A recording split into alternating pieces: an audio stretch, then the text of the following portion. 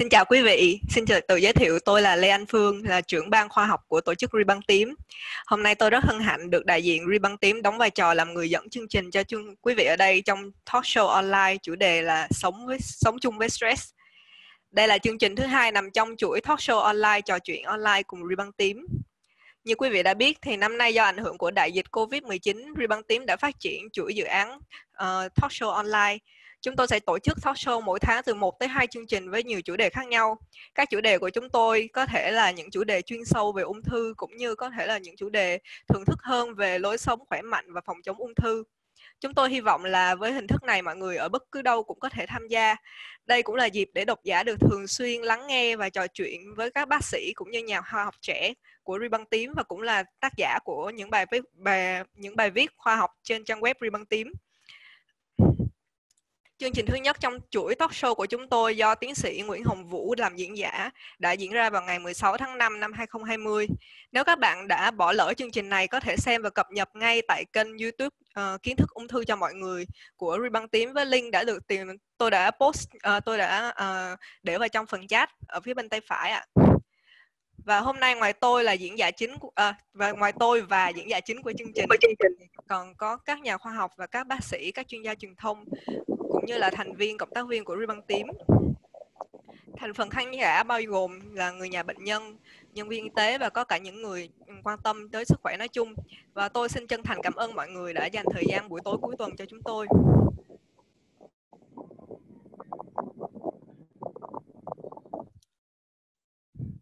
Thì để đảm bảo cho chương trình được diễn ra suôn sẻ và tốt đẹp, tất cả những khán giả vui lòng tắt micro và nếu các bạn có câu hỏi hoặc là thắc mắc hay là chỉ là lời động viên tới diễn giả thì quý vị có thể sử dụng khung chat phía bên tay phải ạ. À.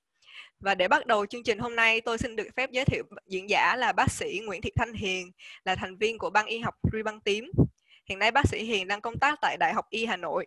Trong Ribbon Tím, bác sĩ Hiền phụ trách mảng tâm lý của team và bác sĩ Hiền cũng từng là diễn giả trong chương trình hỗ trợ thông tin và tâm lý trong điều trị ung thư diễn ra vào ngày 9 tháng 11 năm 2019. À, chào bác sĩ Hiền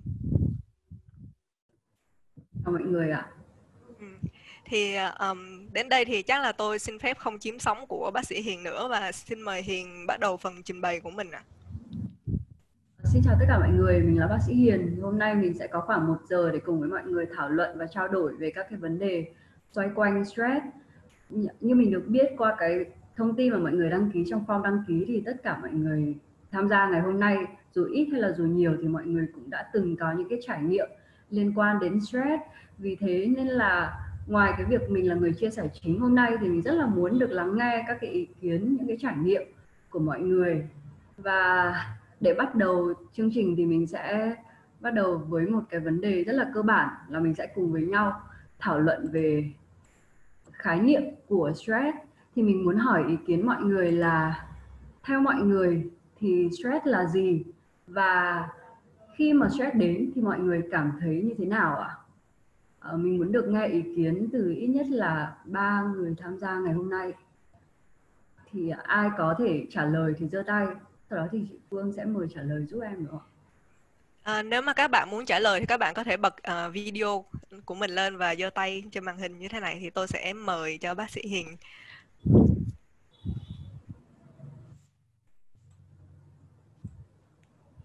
có bạn nào không ạ? À?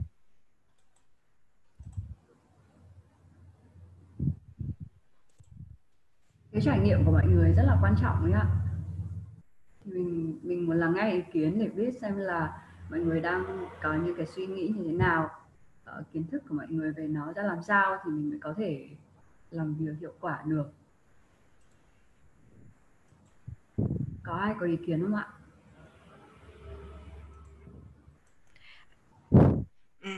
Để chị uh, trả lời trước uh, làm mẫu cho mọi người vậy thì theo chị là stress là một tình trạng của cơ thể mà giống như là khi mà mình gặp phải một cái áp lực gì đó ở ngoài môi trường thì cơ thể nó sẽ có một số thay đổi uh, đáng kể mình có thể nhận ra được và đó gọi là stress là khi mà có cái thay đổi từ môi trường thì cơ thể mình phản ứng và mình nhận biết được cái phản ứng đấy thì theo chị Phương như thế gọi là stress đúng không ạ? À, ừ chị nghĩ là vậy. À, bác sĩ Thương có muốn trả lời này. mời chị Thương ạ à...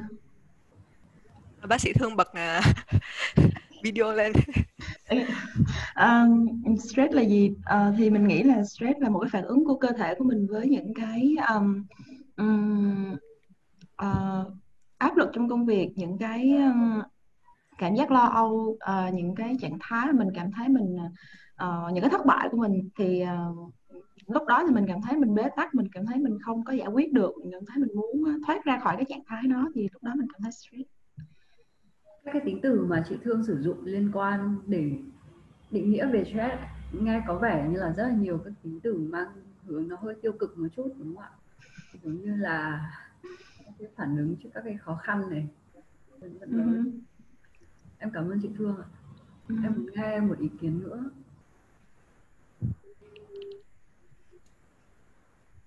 Các bạn à, khán giả nào tham gia muốn trả lời không ạ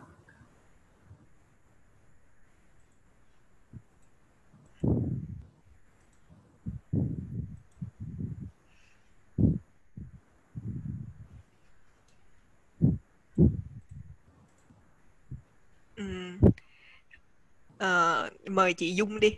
Chị Dung có à, khái niệm như thế nào về stress? Chị Dung là không phải là người làm khoa học hay là bác sĩ cho nên là có có thể có ý kiến khác. Ừ. à, chị thường bị stress khi mà công việc quá nhiều và chị cảm thấy là mình mình không thể à, làm nổi á. Thì cảm giác bị stress chị là chị bị hai giống chị bị hai á. Chị bị quá nhiều năng lượng thế chị làm việc điên cuồng luôn và buổi tối lúc đi ngủ thì chị không thể ngủ được mà.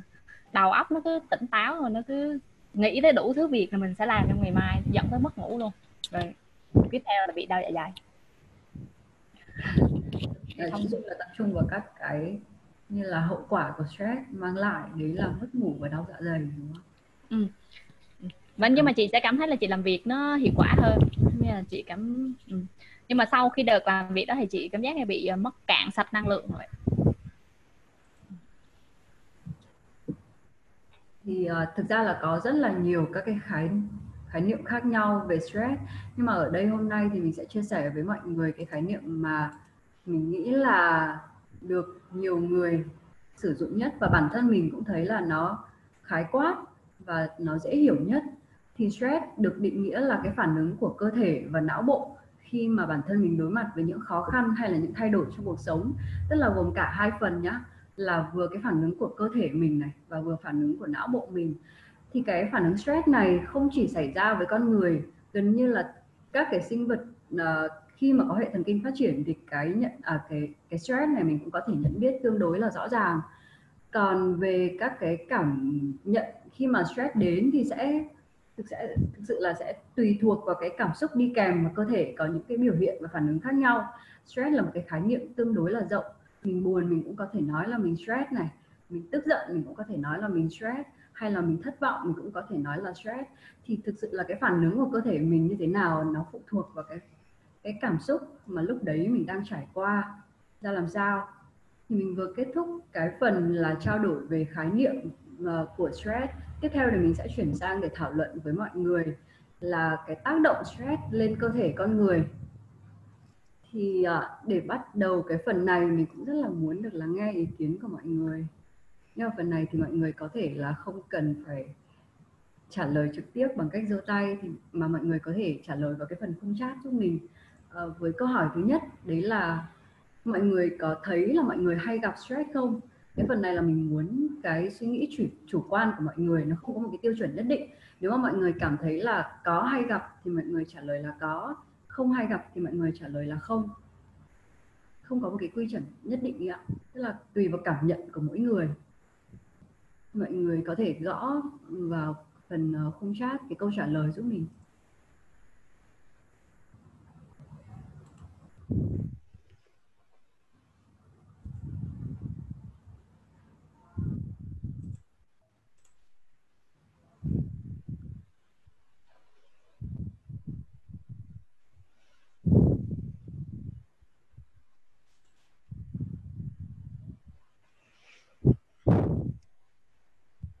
Phương tổng bạn giúp em nhé. Ừ, uh, hiện nay thì trong uh, 20 24 bạn tham gia thì có phần lớn các bạn đều trả lời là có thường xuyên gặp stress và có hai bạn trả lời là thỉnh thoảng gặp stress và có một bạn thì trả lời là mình không biết uh, trước khi uh, chương trình diễn ra thì Ribbon Team đã tổ chức một cái um, khảo sát nho nhỏ thì trong khảo sát cũng uh, có một cái uh, tương ứng cái phần trăm tương ứng ờ, phần trăm tương ờ, trả lời tương đương. Tức là khoảng 50% các bạn trả lời là tôi thường xuyên bị stress và khoảng 50% các bạn trả lời là tôi um, thỉnh thoảng mới bị stress. Và hầu như là không có một câu trả lời nào ghi rằng là tôi chưa bị stress bao giờ. Là cảm ơn cái sự ờ, đóng góp ý kiến của mọi người. À, tiếp theo có một cái câu hỏi nữa muốn hỏi ý kiến mọi người đấy là theo mọi người thì stress có hại hay không? Cái câu hỏi này là mình muốn hỏi là niềm tin của mọi người về cái vấn đề này như thế nào? Không không quan trọng là kiến thức của mình đã làm sao nhá. Mình muốn hỏi là theo cảm nhận cá nhân thì mọi người thấy là stress có hại hay không? Và mọi người cũng gõ cho mình cái câu trả lời này vào phần không chat đúng không ạ? Theo mọi người thì stress có hại hay không ạ? Cái niềm tin của mọi người về cái vấn đề này như thế nào ạ?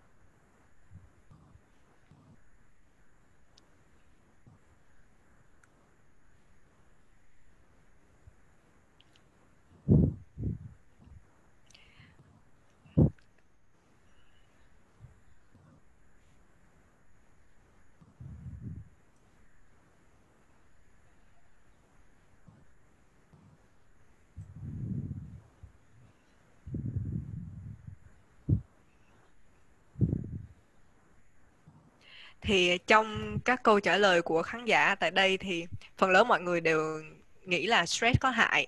Thì có một số câu trả lời là uh, ghi là stress ít ít thì có uh, thì không có hại. Và có một số bạn trả lời là có hại nhiều nhưng mà cũng có lợi. Thì trong khảo sát ờ, cũng trước khi chương trình diễn ra thì cũng có một cái phần trăm tương đương tức là khoảng hơn 50% các bạn trả lời là gây hại một cách nghiêm trọng nhưng không nguy hiểm đến tính mạng và khoảng 30% các bạn trả lời là cực kỳ có hại, có thể gây tử vong hoặc các bệnh nguy hiểm. Và chỉ khoảng 20 10 tới 20% là uh, các bạn ghi rằng là có gây hại tới cơ thể nhưng mà không nghiêm trọng và không không có một câu trả lời nào ghi là có thể đem đến lợi ích cho cơ thể. Em cảm ơn chị Phương ạ. Uh, hai cái câu hỏi uh, hai cái câu hỏi mà mình vừa hỏi mọi người là hai cái câu hỏi nằm trong cái bộ câu hỏi nghiên cứu ờ, của, để đánh giá cái tác động stress lên cơ thể tiến hành năm 1998 trên 29.000 công dân Mỹ. Thì với hai cái câu hỏi đó và chia ra làm các cái câu trả lời khác nhau, thì họ chia ra làm bốn nhóm đối tượng nghiên cứu. Ở trên cái slide mình chiếu này, thì bốn nhóm đối tượng nghiên cứu lần lượt là nhóm đối tượng có stress nhiều và nghĩ là stress có hại nhóm thứ hai là nhóm đối tượng có stress nhiều nhưng mà không cho là stress có hại. Nhóm thứ ba là nhóm đối tượng stress ít nhưng mà cho là stress có hại. Và nhóm thứ tư là nhóm đối tượng stress ít và không có nghĩ là stress có hại. Thì khi mà cái kết quả uh, nghiên cứu này được công bố gần như là cái cách nhìn nhận về stress cũng như là cái bộ mặt của stress thay đổi rất là nhiều. Cái kết quả về cái mức độ tử vong là cái mà gây nên cái điều mà đặc biệt à có cái cái kết quả rất là bất ngờ. Thì ở phần này mình cũng muốn hỏi ý kiến và suy nghĩ của mọi người là theo mọi người thì với bốn cái nhóm đối tượng như thế này thì nhóm đối tượng nào sẽ có mức độ tử vong cao nhất và nhóm đối tượng nào thì sẽ có mức độ tử vong thấp nhất? Tùy suy nghĩ của mọi người nên mình muốn được nghe chia sẻ của mọi người Um, câu hỏi này thì mình khuyến khích là mọi người mở mic lên để trả lời cho bác sĩ Hiền cho một có một ít tương tác ạ. À. Mình nghĩ là với những ờ, những cái chủ đề về tâm lý như thế này thì việc mọi người suy nghĩ như thế nào rất là quan trọng. Mình càng tương tác nhiều thì mình càng ra nhiều vấn đề mà mình có thể thảo luận với nhau nhiều hơn. Nên là rất là mong muốn mọi người có thể tăng tương tác nhiều hơn.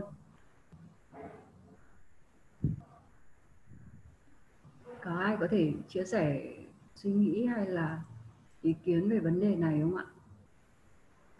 À, mình mình nghĩ là stress nhiều thì à, những người mà họ có cái uh, stress nhiều và họ có suy nghĩ là stress có hại thì cái tỷ lệ tử vong của họ cao nhất. Dạ. Còn nhóm nào thì có cái mức độ tử vong thấp nhất hả chị Thương? Chứ mình nghĩ là không nghĩ là stress um, stress ít và không nghĩ là stress có hại. Stress ít và không nghĩ là stress có hại là nhóm có mức độ tử vong thấp nhất. Đó là ý Ừ. kiến của chị Thương ạ. Ừ. Có ai có ý kiến khác không ạ? Dạ, em em có ý kiến á. À, em nghĩ á, là cái stress nhiều nhưng mà không nghĩ stress có hại thì có mức độ tử vong cao nhất bởi vì ý là tình trạng mình nặng nhưng mà không có ý thức được cái việc đó. Còn cái nhóm ít á, là stress ít nhưng mà nghĩ stress có hại nghĩa là mình mới bị ít thôi nhưng mà mình ý là mình nhận thức được và cái việc đó là nguy hiểm cho nên là chắc um, ý ý em là vậy. Xin cảm ơn ý kiến của bạn. Còn có ai có ý kiến khác đúng không ạ?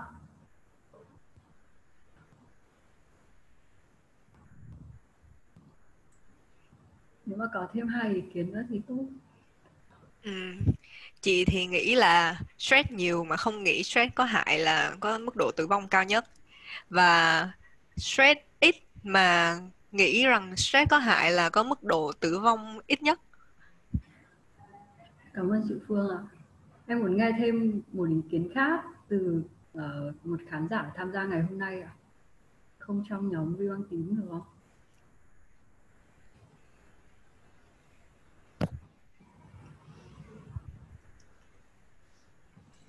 Mời mọi người ạ.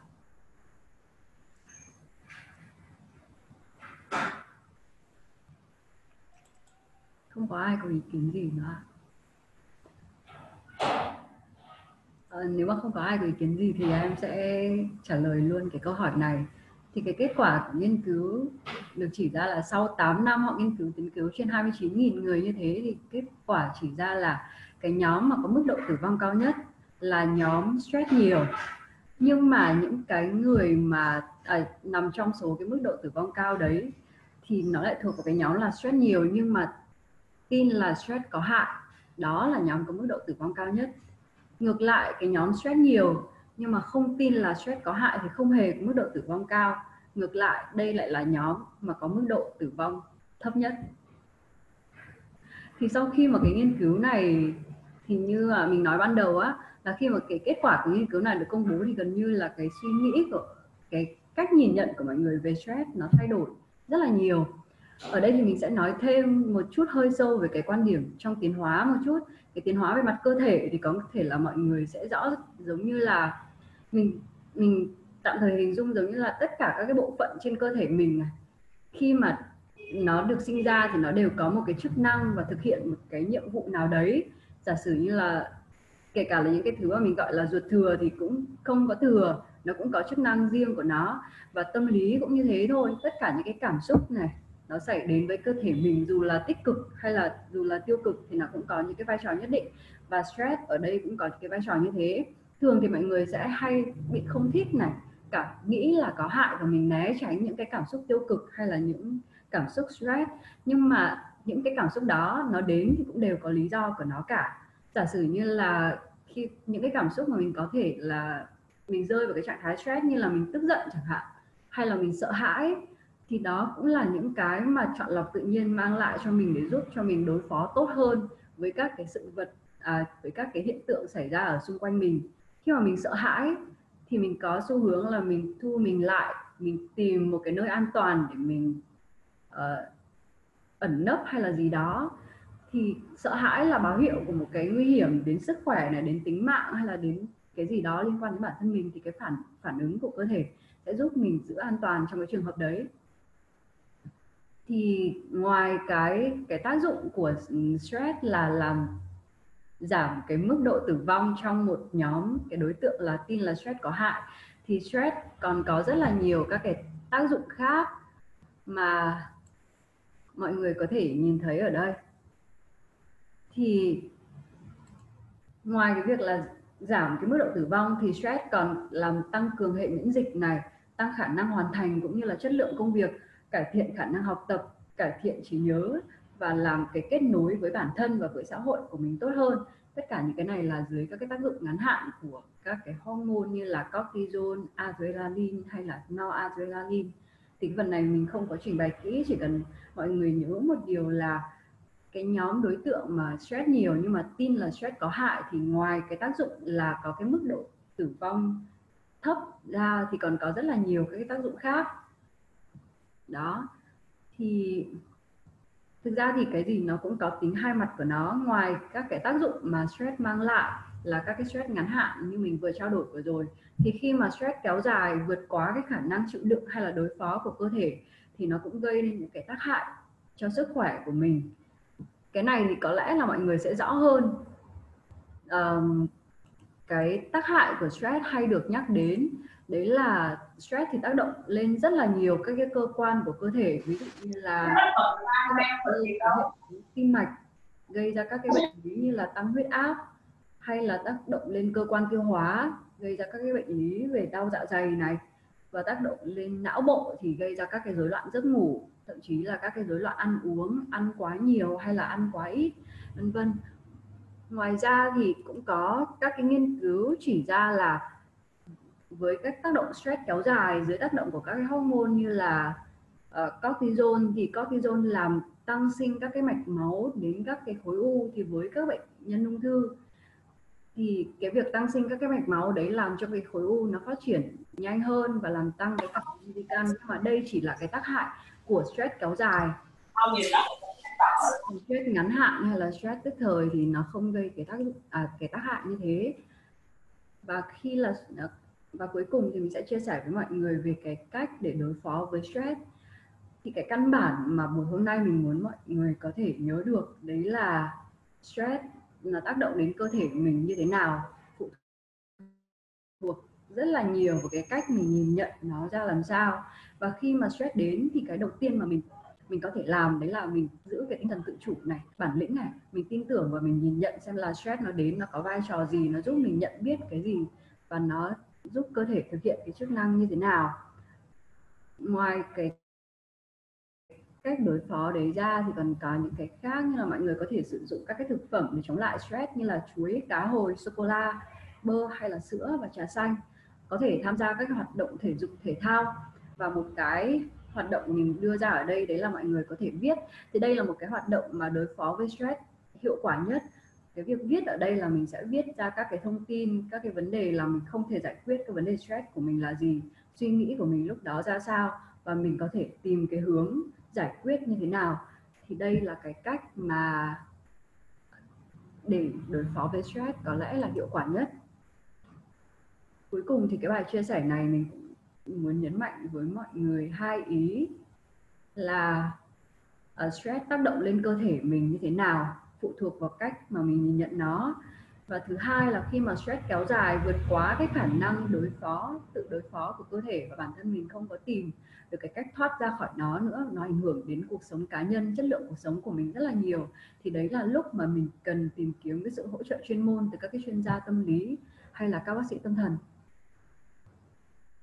Bài chia sẻ của mình ờ, đến đây là hết rồi.